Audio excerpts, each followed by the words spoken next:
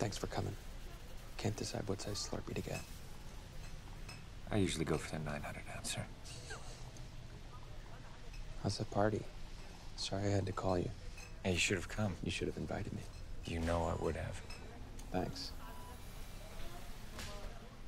I know we joke about it, but I am always this close to begging you to stop training our people and get your ass back in the field. But that's not what you do anymore, and so I respect that choice. You know I do.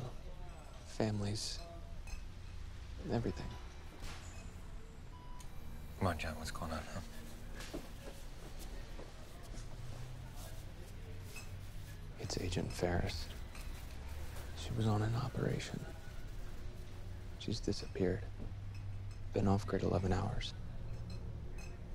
I'm sending in search and rescue. I was hoping you'd want in.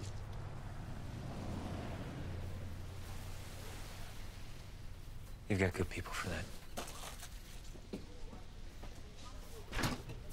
Yeah. Yep, that we do.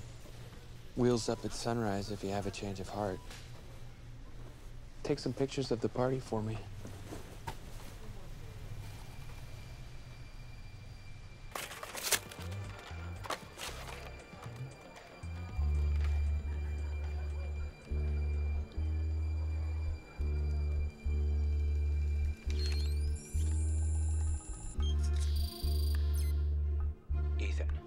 Three days ago, Agent Lindsey Farris was captured while on a surveillance operation.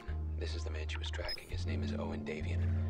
Details are eyes only, but I can tell you that Davian's a black market trafficker, extremely dangerous and a priority for us. At 1400 hours today, a recon satellite ID'd a caravan of vehicles with plates matching those known to have been used by Davian's operatives. They stopped at a derelict factory outside Berlin. It appears they have a hostage. We believe it's Agent Farris. Normally we would disavow, but Lindsey may be the key to getting us closer to Davian, and that's a risk we need to take. Your mission, should you choose to accept it, is to find Lindsey and bring her home. I've already assembled a team.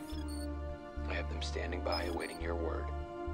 This message, let's call it my excellent engagement gift to you, We'll self destruct in five seconds. Good luck, Ethan, and thanks again.